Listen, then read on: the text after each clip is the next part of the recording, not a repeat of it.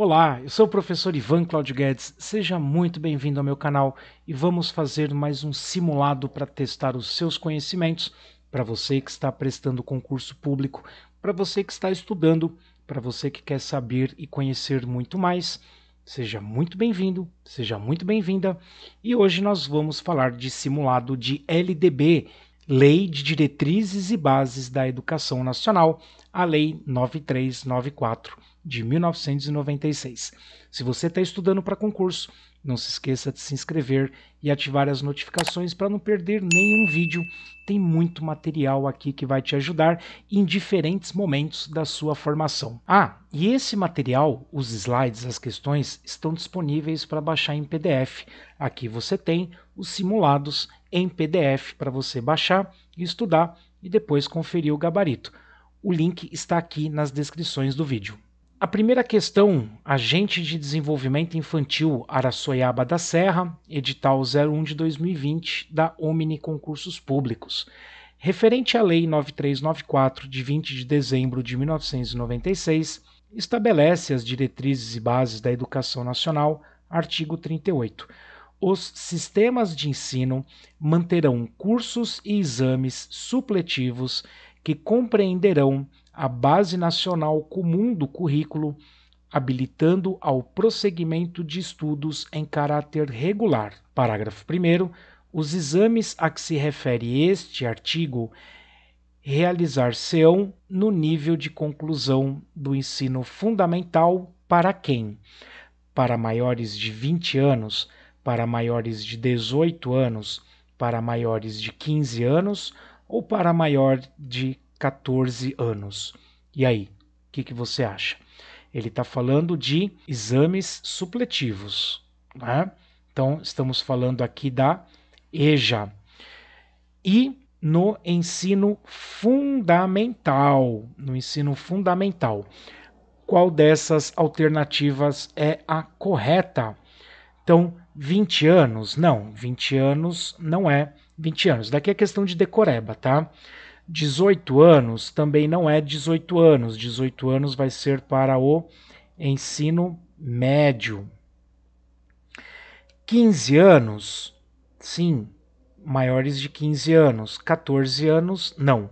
Para que não reste dúvida, nós vamos encontrar isso, vamos lá, no artigo 38 a seção 5, que fala da educação de jovens e adultos, 37, aqui 38.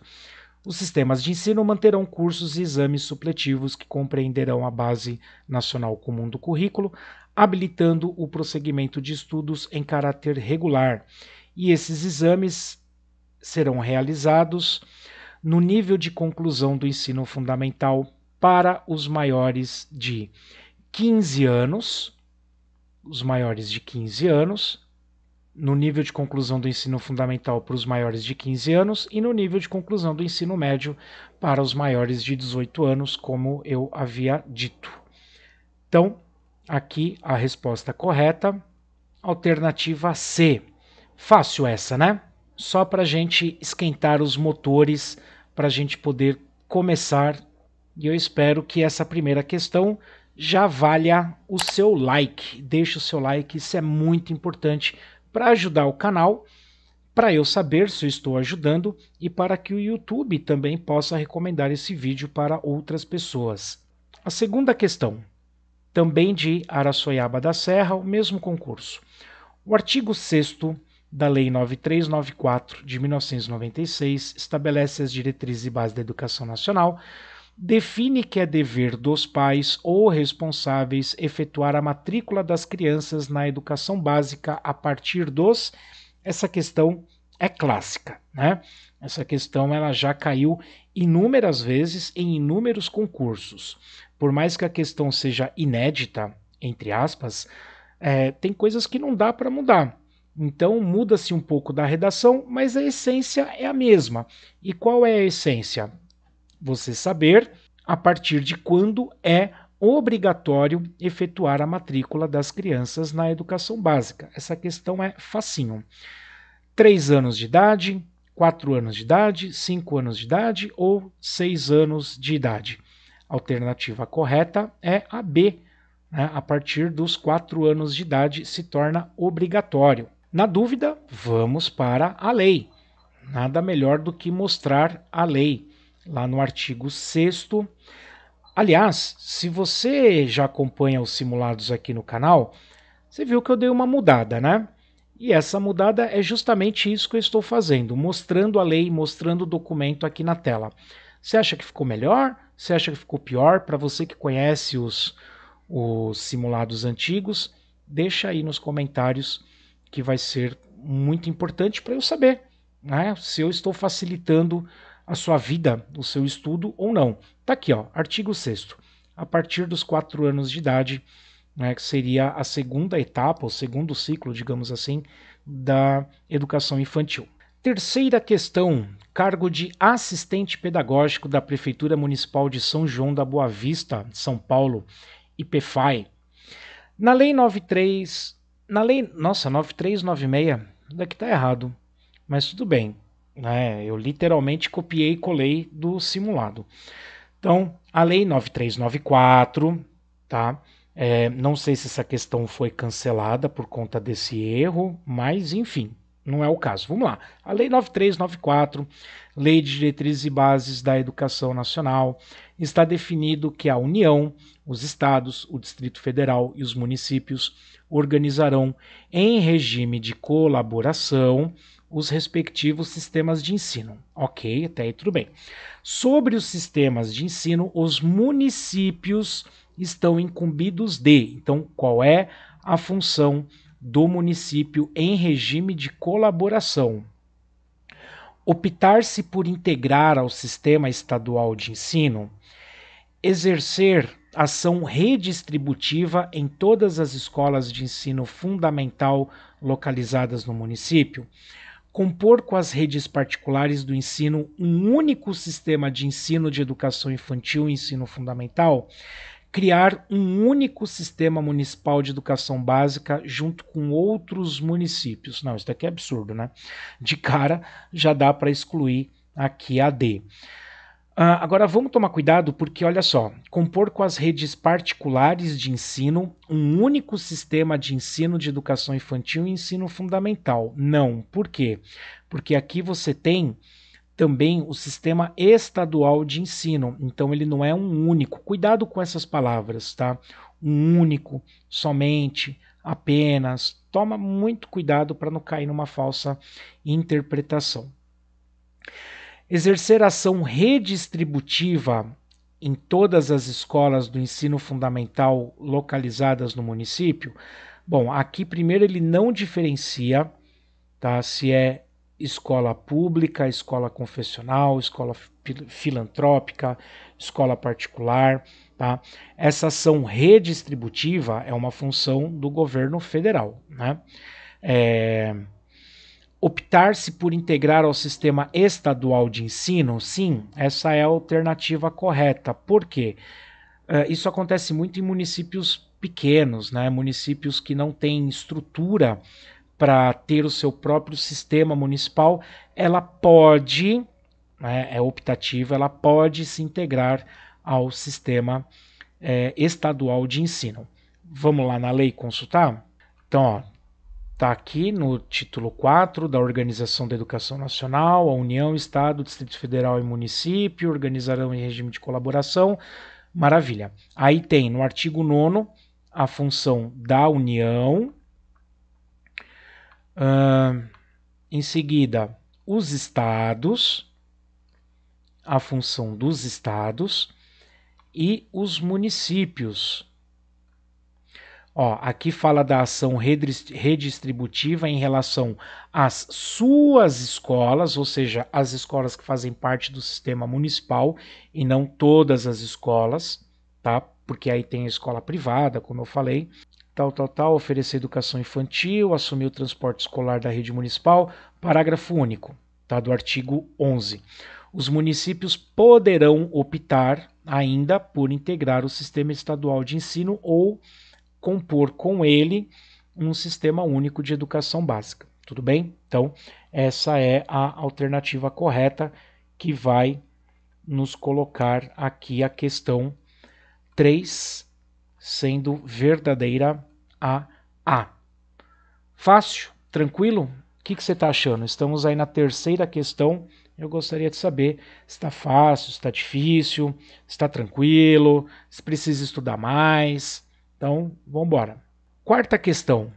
Assistente pedagógico, Prefeitura Municipal de São João do Boa Vista, IPFAI 2021. Assim como a Constituição, a LDB 939496 também define os princípios, fins, direitos e deveres referentes à educação nacional. Porém, além disso, ela estabelece e aprofunda outros pontos relacionados ao sistema educacional. Sobre a organização e funcionamento da escola a partir da LDB, assinale a alternativa incorreta. Muito cuidado. Então vamos lá, ele quer a alternativa errada. A LDB desenvolve um diagnóstico da situação educacional no país e, a partir dele, determina princípios, diretrizes, estratégias de ação e metas a fim de guiar as políticas públicas educacionais e combater os problemas do sistema de educação brasileiro em todas as esferas de governo. A LDB determina quais são as responsabilidades e obrigações de cada esfera administrativa, União, Estado, Distrito Federal e município. A LDB delibera sobre as finalidades e o modo de organização dos níveis de educação. Os níveis são divididos em educação básica, composta por educação infantil, ensino fundamental e ensino médio, que pode ser profissionalizante ou não, ensino superior. A LDB delibera sobre as finalidades e o modo de organização das modalidades da educação.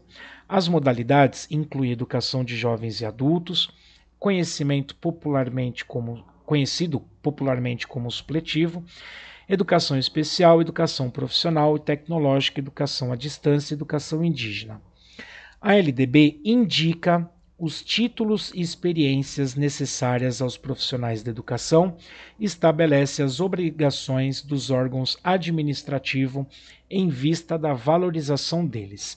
Então, o que, que a gente tem aqui? A gente tem um compilado geral da LDB, o que ela é, o que ela não é, e aí ele pede a alternativa incorreta. Muito bem, a partir desta leitura, você consegue já identificar qual é a alternativa incorreta?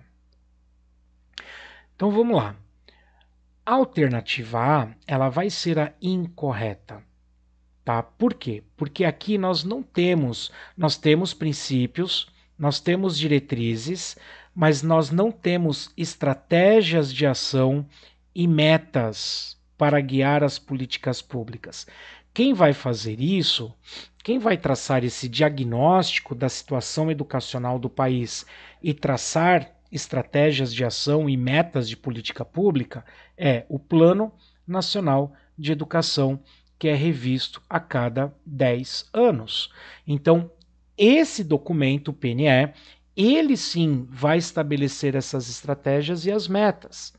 Né? Então, nós temos lá as metas do PNE que vão até 2000 2024. E aí, em 2024, nós teremos um novo PNE para mais 10 anos e assim segue. Todas essas outras alternativas aqui, elas estão corretas. Todos esses itens constam na LDB. A responsabilidade e obrigação de cada esfera administrativa, acabei de mostrar isso com a outra questão. As finalidades da educação, sim, está né, tá logo no nos primeiros artigos, a organização dos níveis de educação está correta. Ela delibera sobre as finalidades, a organização e as modalidades da, da educação, com todos esses itens que constam aqui, estão correta. E indica os títulos e experiências necessários aos profissionais da educação, sim, e as obrigações dos órgãos administrativos, sim.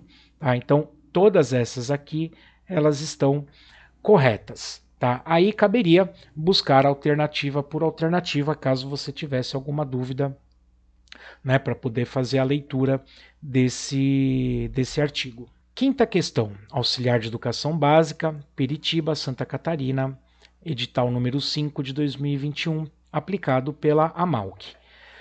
A valorização da experiência extraescolar e a valorização do profissional da educação escolar são exemplos daquilo que a Lei 9394 descreve em seu artigo 3 como deveres do Estado, princípios do ensino, incumbência dos municípios, atendimento educacional especializado incumbência dos sistemas de ensino. Então, o que, que nós temos aqui?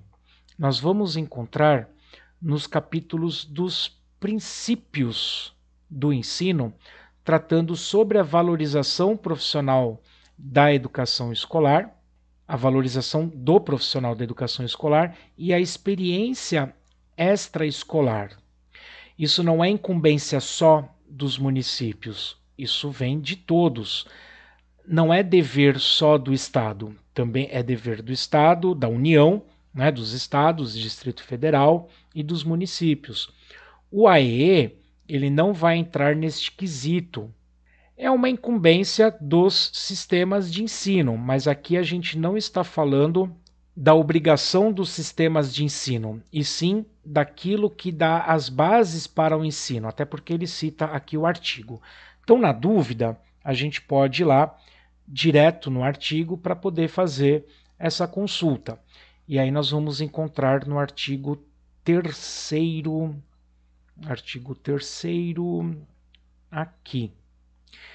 Ó, o ensino será ministrado com base nos seguintes princípios. E aí vem todos, né, os princípios, igualdade de condição, liberdade de aprender e ensinar, pluralismo de ideias, respeito à liberdade, apreço à tolerância, coexistência das instituições, a gratuidade, valorização do profissional da educação escolar e a valorização da experiência extraescolar. São os itens que constam no artigo 3 que trata exclusivamente dos princípios da educação, os princípios daquilo que todos devem perseguir para disponibilizar então né, a educação. Então, nós temos aqui a experiência extraescolar, a valorização do profissional da educação. Então, princípios do ensino, alternativa B. Tudo bem? Tranquilo? Não esquece do seu like, seu like é muito importante para mim, para eu saber se eu estou ajudando você ou não. Sexta questão, auxiliar de educação infantil, Vinhedo, São Paulo, Instituto Avança São Paulo. Acerca da Lei 939496, que estabelece as diretrizes e bases da educação nacional, analise os itens a seguir e, ao final, assinale V para verdadeiro ou F para falso. A educação escolar deverá vincular-se ao mundo do trabalho e à prática social. Ok? Ok. Ok. Né? A gente vai encontrar isso tanto na LDB como na Constituição, no ECA, que a educação ela deve preparar para o pleno desenvolvimento da cidadania e sua qualificação para o mercado de trabalho. Está aqui. Né? Então a primeira é verdadeira. A educação básica obrigatória e gratuita dos 4 aos 16 anos de idade é verdadeiro ou falso? Nós já vimos que a partir dos 4 ela é obrigatória. Mas será que vai somente até os 16 anos de idade? Porque pensa comigo, 16 anos de idade, o, o aluno que vai ingressar aqui aos 4 anos, né, o primeiro ano, então vamos colocar aqui, ó, primeiro, segundo, terceiro, quarto, quinto, sexto, sétimo, oitavo, nono ano. Aí você tem primeiro, segundo, terceiro ano do ensino médio, que são é, que é obrigatório, né?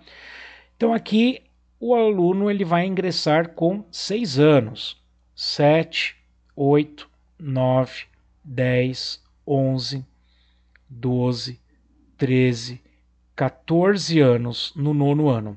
Só para constar, é, antes disso, nós temos aqui a educação infantil, tá? A educação infantil, 4, 5 anos, aí ele ingressa no primeiro ano do ensino fundamental. E aí o ensino médio, nós temos 15 anos, 16 anos e 17 anos. Se eu deixar aqui aos 16 anos de idade, significa que o terceiro ano do ensino médio passa a não ser obrigatório. Então essa afirmação está errada, tá? Essa afirmação aqui ela está errada. Igualdade de condições para acesso e permanência na escola é um dos princípios ministrados no ensino. Sim, igualdade de condições de acesso e permanência na escola. Eu acabei de mostrar isso na outra questão, que nós vimos isso no artigo 3. Então, está correta. É dever dos pais ou responsáveis efetuar a matrícula das crianças na educação básica a partir dos 4 anos de idade. Nós vimos isso também em outra questão, está correto, então nem preciso mostrar a legislação. Portanto, verdadeiro, falso, verdadeiro, verdadeiro. Cadê? Verdadeiro, falso, verdadeiro, verdadeiro. Aqui, ó. Alternativa D de dado. Tranquilo? Então vamos para o próximo. Sétima questão. LDB, Auxiliar de Educação Infantil, Ermo, Santa Catarina. Aqui não tem o nome da entidade. LDB, Lei 939496, no artigo 3 aponta os princípios nos quais o ensino será ministrado. Vocês viram que esse artigo 3 aqui ele não cai, ele chove, né? Então, vamos lá. Uh, será ministrado marque alternativa que não é princípio da educação nacional. Garantia de padrão de qualidade prioritariamente nas instituições de ensino privadas e filantrópicas. Ah, tá, beleza. Então a pública não precisa ter padrão de qualidade. É isso? Tá. Já matamos aqui a questão, né? Mas vamos que vamos. Vinculação entre a educação escolar, o trabalho e as práticas sociais? Sim, acabei de falar né, que a educação, direito de todos, dever do Estado, da família, deve ser né, oferecida para. É, então, a vinculação entre a educação escolar, o trabalho e as práticas sociais. Continua até o final desse vídeo que você vai ver por que, que eu cortei isso. É, então, retomando o raciocínio. Então, nós vamos encontrar lá na, na, Constituição, na LDB, no Estatuto da Criança e do Adolescente, falando sobre a necessidade da educação escolar fazer esse vínculo, né? Educação, direito de todos, dever do Estado, da família, da sociedade, em colaboração né, com, a, com a sociedade, deve promover a criança, o adolescente, a sua qualificação para o mercado de trabalho e para o pleno desenvolvimento da cidadania. Né? Então, beleza. A B aqui ela está correta. Respeito à liberdade e apreço à tolerância, sim, também consta lá no artigo 3 que a gente acabou de ver, então risca ela daqui. Risca ela para não se atrapalhar. Liberdade de aprender, ensinar, pesquisar e divulgar a cultura, o pensamento, a arte, o saber. Está correto, nada que desabone aqui e que não gere dúvida e consideração com a diversidade étnico-racial também, né? Consideração, considerar a diversidade étnico-racial. Portanto, a alternativa, já tinha matado logo de primeira, alternativa A, né? Essa padrão de qualidade prioritariamente nas instituições de ensino pública e privada? Não, não tem nada de prioritariamente, está aqui, ó. A gente já estava até analisando ele na outra questão a igualdade de condições, a liberdade de aprender, o pluralismo de ideias, respeito à tolerância, gratuidade, valorização, gestão democrática, ó, garantia de padrão de qualidade. Ah, ele não fala nada aqui prioritariamente nas escolas. Tranquilo? Então, maravilha. Vamos para vamos para a próxima questão. Cuidador de creche, Paulo Ramos, no Maranhão, Instituto Legatus ou Legatus, Instituto Legatus 2019.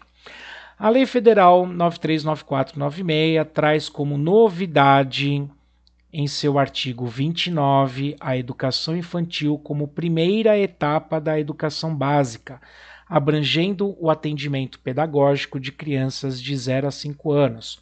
Assinale a alternativa que melhor exprime essa mudança de paradigma. Hum, vamos lá.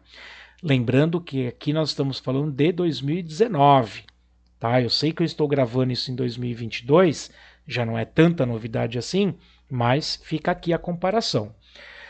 A garantia em lei do caráter educacional das creches e pré-escolas significa fortalecer o atendimento assistencialista às crianças dessa faixa etária. E aí eu pergunto a você, a educação infantil, ela tem um caráter assistencialista, pura e simplesmente assistencialista, fortalecer o atendimento assistencialista às escolas, né? Então se questione aí. Em vez de serem consideradas como ação de assistência social, as creches passam a fazer parte de um percurso educativo em que deve se articular com outros níveis educacionais. Olha só que bacana.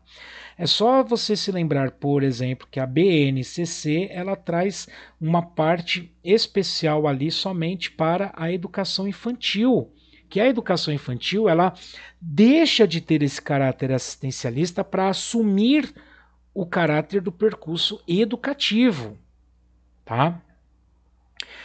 A creche possui um atendimento educacional e a pré-escola um atendimento assistencial? Não.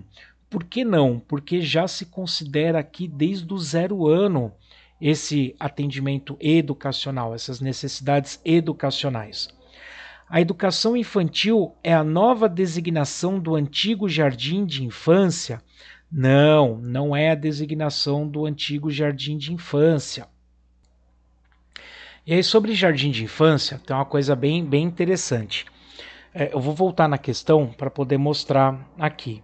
A educação infantil é a nova designação do antigo jardim de infância. Beleza, você pode argumentar. Ah, mas não, é verdade. Tá. Então, olha como a interpretação de texto é fundamental. Primeiro que ele está falando da lei 939496, tá? Então, maravilha. Primeira coisa, na lei 939496, se eu apertar o Ctrl F e escrever jardim, ó, não existe essa palavra na LDB, ponto, tá? Mas já existiu um dia. Se eu abrir a LDB de 1961, a LDB 4024 de 1961, ela tem aqui, ó, artigo 23. A educação pré-primária destina-se aos menores de 7 anos e será ministrada em escolas maternais ou jardins de infância. Mas ele não tem aqui falando qual é a diferença entre escola maternal e jardim de infância. Quer ver, ó, maternal. É, Ó, a única vez que aparece essa palavra na lei é aqui, ó. É aqui, tá? Isso nós estamos na LDB a 4024 de 1961. Quando a gente vai para a LDB de 71, 596, ah, 5692 de 71, nós temos no artigo 17 falando Cadê? Eu perdi. Jardim, jardim. Aqui, ó. Deixa apertar o Ctrl F e escrever novamente Jardim de Infância. Ele vai aparecer no artigo 17. Os sistemas de ensino valerão para que as crianças em idade inferior a 7 anos recebam conveniente educação em escolas maternais, jardim de infância e instituições equivalentes. Aqui não aparece mais nada, só vai aparecer o nome dos autores da lei. Maravilha. Então, assim, ah, mas era jardim de infância antigamente, mas você também tinha maternal. Então, eu afirmar que educação infantil é a nova designação do antigo jardim de infância, está errado. Eu poderia refletir o seguinte: educação infantil é a nova designação do antigo maternal e jardim de infância aí a alternativa estaria correta, o que não é o caso. Tudo bem? Maravilha. Então, o próximo item aqui, que é o E, ele vai me dizer o seguinte: são garantidas por lei vagas na educação infantil aos filhos de mulheres trabalhadoras e crianças de famílias das classes populares. E aí eu pergunto o seguinte: são garantidas por lei vagas na educação infantil ao filho de mulheres trabalhadores e às crianças de famílias de classes populares. E os outros não? Então isso daqui está errado. Por que está errado? Porque nós temos aqui a matrícula obrigatória desde os 4 anos de idade. Então não pode ser essa alternativa, tá? Então é para todos e não só para quem é mulher trabalhadora e crianças de famílias de classes populares. E assim, só para constar, naquelas outras duas leis antigas nem tem nada sobre isso, tá? Que a, a garantia de vaga é só para mulher trabalhadores e crianças de famílias de classe popular. Isso nem tem na legislação antiga. Então, a questão número 8 é alternativa A. Fechou? Fácil? Difícil? Tranquilo? Então vamos para a próxima questão. A próxima questão, ela diz o seguinte: a gestão é diretor de Educação Fundamental, Salesópolis, Instituto Omni. A gestão do projeto pedagógico orienta o trabalho da escola por meio de diversas formas de planejamento, todas integradas no diálogo e na busca de solução dos seus problemas com base na ação coletiva. Na construção do projeto pedagógico, a LDB destaca três grandes eixos. O tanana, vincula-se à autonomia, possibilitando a escola organizar o seu próprio trabalho pedagógico. O eixo que corresponde corretamente é o eixo da organização, o eixo da avaliação, o eixo da flexibilidade ou o eixo da liberdade. Nós vamos encontrar esses eixos aqui, eu já vou mostrar. Porém, quando se fala da autonomia, em que a escola pode organizar o seu próprio que possibilita né, a escola organizar o seu próprio trabalho pedagógico. Nós estamos falando da organização da escola, da avaliação da escola, da flexibilidade da escola ou da liberdade da escola. Aqui você vai precisar conhecer cada um desses eixos. Vamos lá. Essa questão é uma questão de interpretação. A LDB ela não fala em eixo, mas tem vários textos, vários estudos que agrupam a legislação e colocam esses eixos, eixos, tá? Que não estão explícitos na lei. Então cabe aí um poder de interpretação muito forte para poder responder essa questão. Então vamos lá. Como a LDB ela reconhece a escola como um espaço educativo, e que os profissionais da educação têm essa competência técnica, política, né, que coloca ali o professor, coloca os profissionais da educação para participar do, do processo do projeto pedagógico, a construção da avaliação, que ela deve ser formativa e não somativa, enfim. Então a gente vai ter basicamente o seguinte sobre o processo, sobre a construção do projeto pedagógico, tá? A gente tem a flexibilidade. Por que a flexibilidade? Por causa da autonomia da escola. A escola tem autonomia de organizar o seu próprio trabalho pedagógico. Então, por exemplo, se a gente verificar no artigo 15, os sistemas de ensino assegurarão às unidades escolares públicas de educação básica que os integram progressivos graus de autonomia pedagógica e administrativa e de gestão financeiras observado, claro, as regras do direito financeiro público. Então aqui a gente está falando da flexibilidade, tá? Você não fica engessado teoricamente, né, as questões pedagógicas e administrativas. Se a gente pegar aqui falando do artigo 35A, falando da base nacional comum curricular e tal, aqui está falando também sobre a avaliação. Você tem vários parágrafos, vários artigos da LDB que vão apontar essa questão da avaliação. Avaliação enquanto um aspecto extremamente importante, não do ponto de vista de reprovação e aprovação, mas sim da aquisição do conhecimento. Tá? Então, por exemplo, tá, os conteúdos, metodologia, forma de avaliação, tal, você tem vários, várias possibilidades aqui ao final do ensino médio, ou seja, ou seja passando, né, passando por todas as etapas da educação básica, você tem várias indicações aqui. E a liberdade, né, a parte da liberdade que a gente vai encontrar lá no comecinho, no artigo 3 que fala sobre os princípios do ensino. Então, quando a gente está falando sobre essa questão dos eixos, né, o que, que ele quer saber aqui? Falando sobre autonomia, ah, da escola, em organizar o seu próprio trabalho pedagógico. Nós estamos falando da flexibilidade da escola, tá? a flexibilidade da escola construir o seu projeto pedagógico.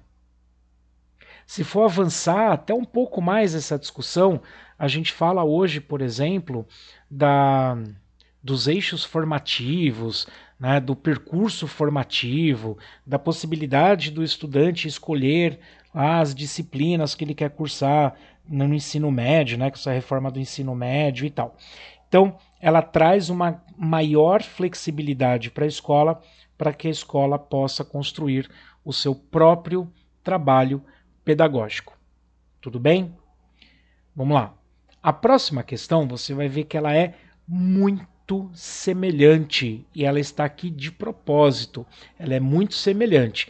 Então, eu sugiro que você estude, pesquise né, alguns textos que discutem esses eixos. Então vamos lá. Eu tenho aqui técnico em assuntos educacionais do Instituto Federal de Educação, Ciência e Tecnologia do Rio de Janeiro.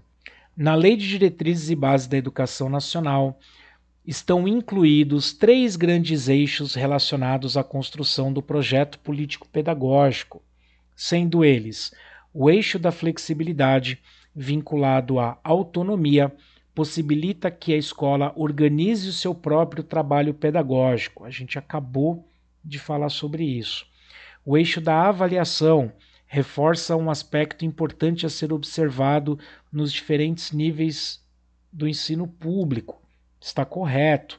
A, a, avaliação ela toma essa característica que ela deixa de ser quantitativa para se tornar somativa. Quem vai falar sobre isso? Lucchesi, Jussara Hoffman, né, esses autores da avaliação. O eixo da liberdade expressa-se no âmbito do pluralismo de ideias e concepções pedagógicas. Ó, nós vimos isso hoje várias vezes lá no artigo 3 e da proposta de gestão democrática do ensino público, que também está lá no artigo 3 nos princípios nos princípios da educação. Então, as três aqui dentro dessa proposta de análise dos eixos estão corretas, portanto, a alternativa correta é a D de dado. Muito bem. Você tem indicação de textos que falem sobre isso? Eu tenho algumas indicações de texto, você pode colocar também, afinal de contas, nós estamos aqui para estudar em conjunto. Eu vou deixar algumas sugestões no PDF, que aí você pode consultar. Você também pode deixar sua, sua sugestão de literatura aqui nos comentários, vai ser um imenso prazer poder aprender mais, mais e sempre mais. E aí, o que, que você achou desse simulado? Quantas você acertou, quantas você errou, por que você errou? Bora estudar. Acompanhe todos os simulados aqui do canal e tem muito mais material disponível no link que eu também estou disponibilizando no meu site. Muito obrigado por me acompanhar até aqui. Um forte abraço e até o próximo. Deve ser é, oferecida para é,